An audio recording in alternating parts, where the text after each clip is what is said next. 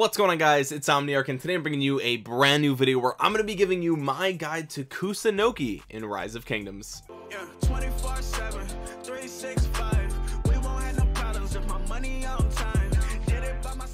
now really quick before we begin I just want to remind you guys that at the time of uploading this video my giveaway for 10,000 subscribers is still going on. I am giving away $100 in gift cards and it's super easy and free to join. There will be a link in the description to the giveaway or you can check out my previous video which I talk about everything there is to know about that giveaway. With that being said let's talk about Kusunoki Kusunoki is an epic commander who focuses on archers. Now I've talked about him pretty extensively in my free to play archer video but I want to make a dedicated video just for Kusunoki so you guys know what exactly you should be doing with this commander and there's a lot of you guys who weren't subscribed to my channel back then so without further ado let's take a look. Kusunoki is a the commander that you start with if you started with the Japan civilization. You can also get him from uh, silver keys you can summon him from gold keys you can get him from the Japan event that comes around once in a while and you can convert your universals into him. You can also get him in the metal shop and a couple of the different ways I'm sure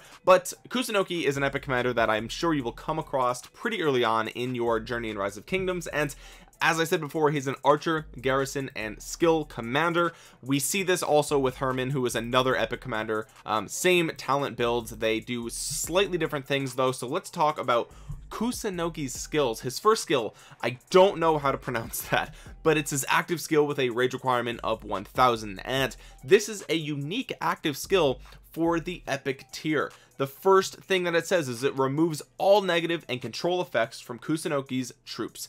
This means the debuffs that you can get applied to your army he is going to remove them as soon as his active skill goes off which is amazing. So if somebody hits you like an Ethelfled for example hits you with a pretty huge debuff uh, this is just going to get rid of it right away which makes him really versatile in not just open field fights but in certain um, different events in the game where you're going to be fighting up against a a kind of an, a PvE scenario where you're going to be getting some debuffs. Kusunoki actually shines in those game modes pretty strongly. And besides that he also deals a direct damage factor to a maximum of three targets in a fan shaped area then deals an additional damage factor of 250 to each target each second for the next two seconds. So he hits them for a damage factor of 300 then he hits them for 250 the next turn and then he hits them for 250 on the turn after that. So he's effectively dealing 800 damage factor. Now I kind of wish that it would just deal a flat 800 uh, because there's just so many more ways it seems to buff skill damage rather than additional skill damage. Uh, those are two separate calculations uh, as far as we can tell.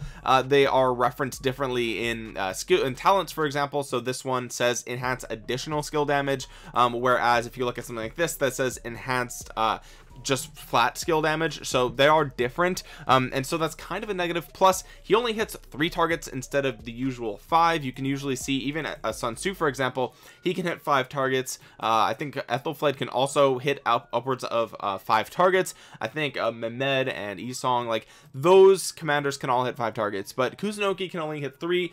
So he's dealing an okay damage factor but it is over time. Uh, it's just to less troops on the field but he does remove all debuffs before he does it which makes him a really good primary commander. And we're going to talk about that when we talk about some of the pairings for Kusunoki. But with that being said let's move on to the next skill. That says the worthy man increases garrison counterattack damage by 7% when this commander is serving as garrison commander. So this is pretty straightforward. If he is on your wall or in your flag or something like that um, it just increases the counterattack damage which is which is nice. It's flat. It's across the board. It is what it is.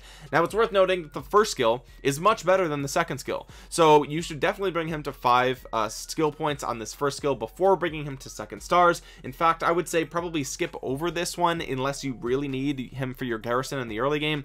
Uh, I would bring him just probably all the way up to four stars at after you max this first skill. Now because this third skill is really good it's called bravery and wisdom and it straight up gives you 10% attack and 10% defense. When you expertise him that changes to 15% attack 15% defense. So you're just straight up getting 20% of archer stats and when he's expertise you're getting 30 really nice there really good use of archer stats. Finally his fourth skill is called tragedies end it says normal attacks of troops have a 10% chance to deal additional damage with a damage factor of 450 each second for the next two seconds. So that's another 900 additional damage factor. So you're gonna see a lot of additional damage factor coming out of Kusunoki. It's a very um niche role. It's a very specific role that he fills. I don't really know too many other commanders who focus heavily on additional damage factor. But at the end of the day this just gives you a chance of dealing another 900 damage factor to the target which is pretty good right? It's pretty good. If when it pops off they just take a bunch of damage which is nice. So he gives archers 30 percent of stats. He removes debuffs and he deals some skill damage and he, additional skill damage as well. It's he's an overall a solid commander for archers. With that being said let's take a look at some of the talent builds for kusunoki this is a full archer talent tree build. I think this is probably the best build for an open field Kusunoki uh, and the reason for that is because the archer tree actually has a ton of really good talents in here. Uh, the top talent is called whistling arrows and this every time you have a normal attack you have a 10% chance to increase all damage by 25% for the next two seconds which means if Kusunoki is the primary commander then the secondary commander's skill damage assuming that their primary does skill damage uh, should fall within that two second window meaning uh, if this pops off on one turn the next turn they'll have a 25% and then the turn after that is when your secondary commander is going to hit them with skill damage and it should fall within that two second window which is really powerful if your secondary is somebody like Yi Seong-Gye or something. Uh, huge skill damage on that turn and this can really come in clutch to deal big damage when this pops off. You also have venomous sting which just straight up gives uh, increases active skill damage of primary and secondary commander by 8% so even though the active skill damage on Kusunoki is only 300 because remember the rest is additional skill damage. Uh, it's still going to apply to the secondary as well. Uh, so you can get the trend here. The trend is that you want your secondary to be a very high skill damage commander.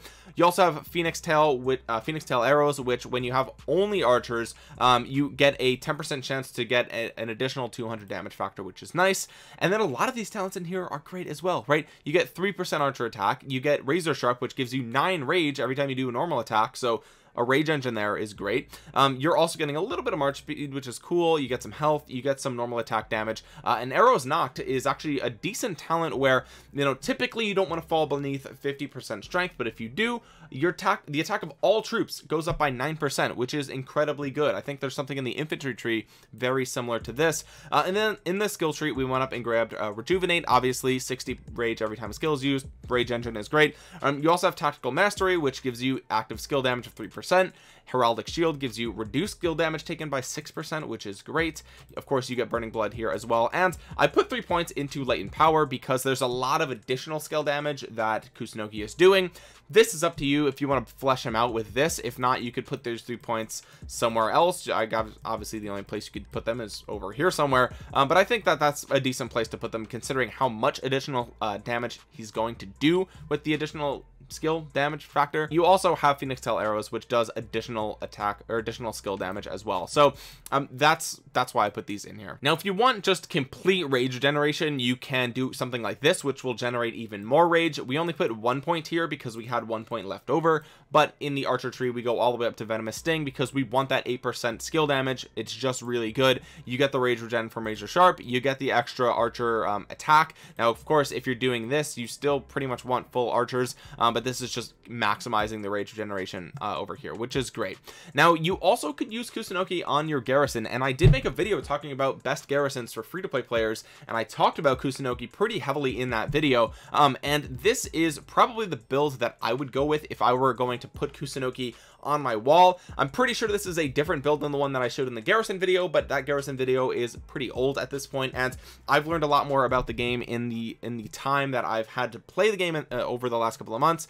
And honestly the best part about him in with this build is obviously we go for full um full skill tree obviously because the reason you don't want to go too far into the archery tree is because you're not going to relative to how many troops you have in your city for example let's say you have a million troops and you have an even amount of all of them because you can train an even amount of all of them. Um, and I know that's not going to be exactly the case but just for argument's sake let's say 250,000 troops are archers and the rest aren't. Well everything in here that buffs archers is going to be uh, it, you know it's only going to apply to 25 percent of your damage output because most of the troops in your city will not be archers. So that's what's important. Of course um, phoenix tail arrows won't work at all there. And so you don't want to go too far into this tree. Um, I grabbed the first uh, all the first talents here in the garrison tree. Now it's worth noting that you can grab know thy enemy if you think you're going to get um, multiple rallies on your city at the same time. However if you're using Kusunoki as the primary in your garrison I think that your power level is probably going to be low enough to the point where the enemy is probably not going to bother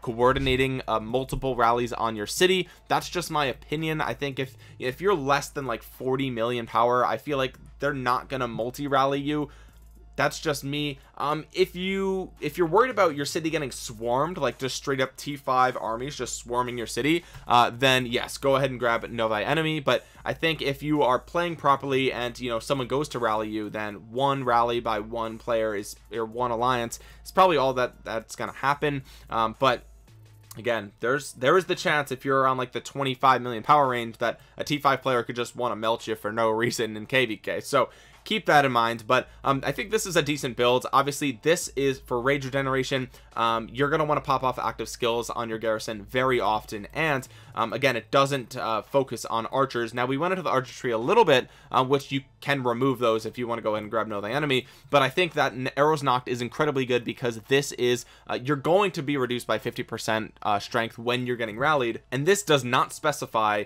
that it's only archers. This is all troops by 9% which is insanely good. So you definitely want this uh, if you're putting him on your wall. Um, but we went over here for to get razor sharp to get the nine extra rage. Um, but of course you know you can take I think some if you take out some of these over here then you definitely can grab it know thy enemy. And it's worth noting that march speed here is kind of a waste anyway. And so this is just for archers dealing damage against infantry. So you know there are some some these two right here are not great. Uh, you can definitely remove this and grab know thy enemy if you're more worried about that. It's worth noting. But if you're not worried about getting surrounded then razor sharp will give you nice rage and i think that's worth it. With that being said let's talk about commander pairings. Now we're going to talk about epic commanders first because kusunoki is an epic commander and i think if you're looking at epic commander guides you might be free to play. And so i think uh, sun tzu is a great pairing. Um, now obviously sun tzu is focused on infantry. Kusunoki is focused on archers. And so whichever one is primary is going to be the one that you want to focus the troops on. So if you're doing sun tzu primary kusunoki secondary you want to do full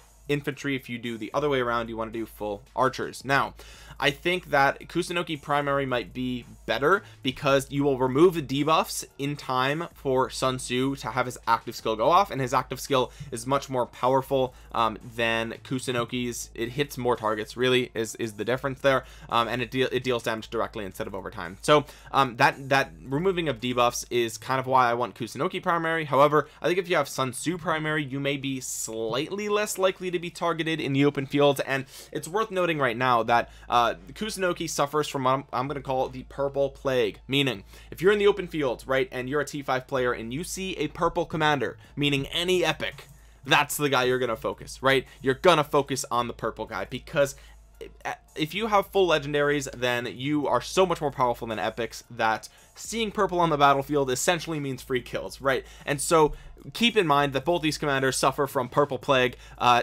Chiskel actually made a video talking about uh Ethelfled who also suffers from pretty much the same feat except she's a legendary but people know that she's insanely good and so they focus her in the open field. But it's even worse for uh purple commanders for epic commanders. So keep in mind um I think Sun Tzu is slightly less likely uh, likely to be targeted because he does uh, you know he could have anything behind him and so he could have someone more tanky like Richard and that would make him slightly less likely to be targeted than Kusunoki uh, so keep that in mind but I think Kusunoki would technically be better as long as you don't get swarmed which you probably will but keep that in mind. Now we also can talk about the obvious pairing which is Herman. Uh, you could do him either primary or secondary. They have the same trees. It's worth noting that again you kind of want to remove that debuff. You want to remove debuffs before Herman's active skill hits. This is the highest single target damage factor out of any epic commander to my knowledge. Um so yeah you definitely want to remove the debuffs before this hits but technically depending on how they're how they're built if you don't want to use a talent reset for one reason or another you could do either as primary or secondary it doesn't matter too much.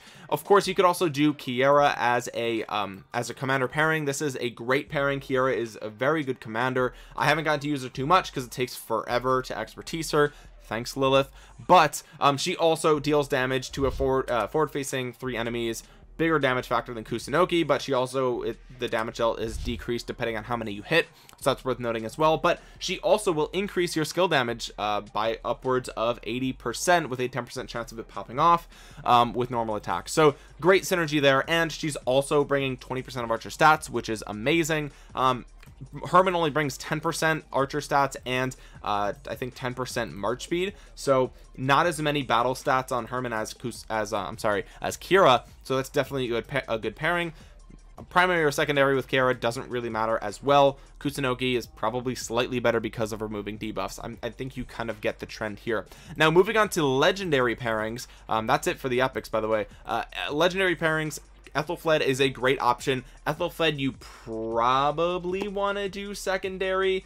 Um, if you're going to do full archers, you definitely want to do her secondary. Um, if you're going to do her primary, then uh, you don't have to do full archers. But I think it's worth trying to do full archers because you are getting 30% of stats from Kusunoki and the archer tree is great and you'll remove the debuff before you hit them with your AoE here. Uh, you are missing out, however, on the 20% um, bonus damage so keep that in mind. And I don't believe Kusunoki has any way of slowing enemies so getting this extra damage here is going to be relied on basically thunderous force. Honestly that's going to be like your only way. Um so it's not the greatest pair ever but they are both aoe skill damage commanders so you could totally do that. It's definitely a pairing you could try. You also can do of course Yi Seong-gye now this is an insanely good pairing. Um if you're using an Yi Seong-gye, then Kusunoki is great because they're both doing AoE. They both love skill damage. They both love archers. Um, you do get the archer attack buff here. You also get rage generation for Kusunoki, which he doesn't have that much of. You also get the bonus active skill damage by 50% here.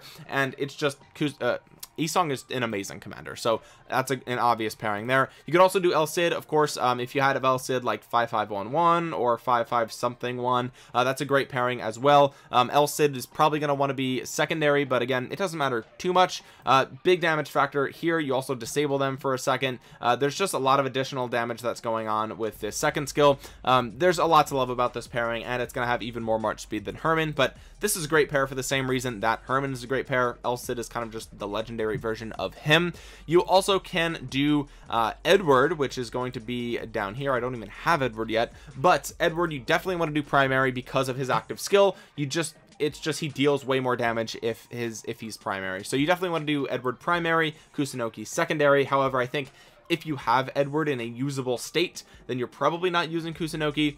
That's just my assumption and opinion. Same thing with Tomyris um, if you you can do her either primary or secondary um, you probably want to do her secondary because I, I, don't know about the attack tree for archers. Not really sure. It could be good. I just don't know. I obviously don't have her so I haven't tested her out too much. But I mean she's an archer commander. She can pair with Kusunoki for certain. Uh, it's just would you actually have her and also be using Kusunoki probably not. Now as for equipment really it's pretty self-explanatory. You just want to put the most amount of archer stats on Kusunoki as possible which means things like chainmail things like sturdy boots those are great early game gray items. And if you get the bonus um the bonus talent on them as well make sure that you put them for archers uh, and that will give you an extra one percent um, for those as well. So definitely just maximize the amount of archer stats you can put on Kusunoki because if he's your primary then the only thing you should be putting in there is archers. With that being said guys if you made it all the way to the end of the video make sure you drop a thumbs up on it subscribe to the channel and click that bell to be notified the next time